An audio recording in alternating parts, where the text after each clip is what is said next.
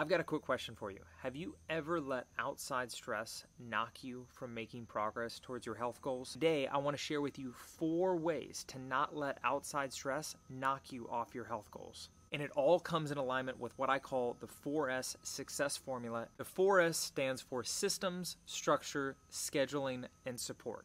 First up, you should have some kind of system in place that allows you to maintain and keep things on track even when things get hectic in your world. For example, if it's a little bit harder for you to get out of bed in the morning and you find yourself kind of, you know, trying to process going into the closet and you're you're spinning forever trying to figure out what you're going to wear uh, to go work out in or go get some movement in, then my invitation for you is to have a system in place to lay your clothes out the night before. Next is having structure. A very simple way to do this is to clean out your environment of things that aren't aligned with your goals. Next, and this is a big one, if you're anything like my clients who are very crunched on time, if you're a high performer, you've got to make sure that you're the one managing your time, not anyone else. Block off on your calendar at least 20 minutes.